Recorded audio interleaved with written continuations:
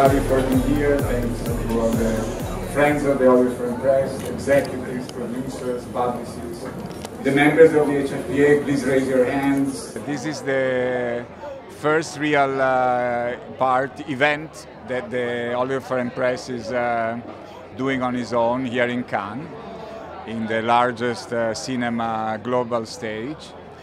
And I am proud, and I think it's very appropriate that uh, we do it honoring uh, one of our grantees. Hollywood Foreign Press has been enormously supportive. They get it. They understand that we are media experts and that we should be using our tools for good. They've given FilmAid more than $650,000, which is an incredible gift. If you can celebrate a film and slide under the door of all the glitz and glamour a little bit of awareness and maybe a bit of money raising, that's also a good thing because, you know, these sort of events tend to gra- uh, the people that tend to gravitate to the towards them um, sometimes have deep pockets, and it's good to sort of strike while the iron's hot. I think. I think you just said that you would match any donation up to hundred thousand dollars.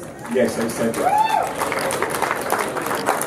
I mean, it's a fantastic initiative because um, to have, you know, of course we've got to be nourished by food, but also for the, the mind and the spirit and stories is the way we do it.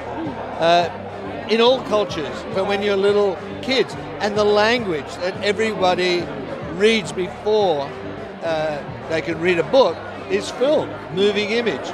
So I think it's fantastic. However it came about, it's, it, I think it's, it's an absolutely brilliant initiative.